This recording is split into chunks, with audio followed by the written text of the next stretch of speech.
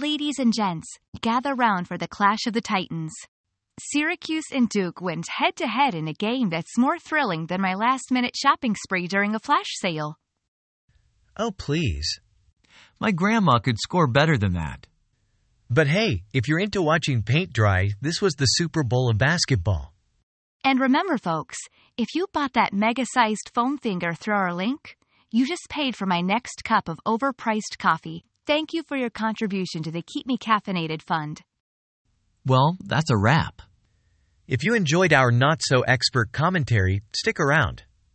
There's more where that came from, and no, we're not talking about my co host's endless supply of bad jokes.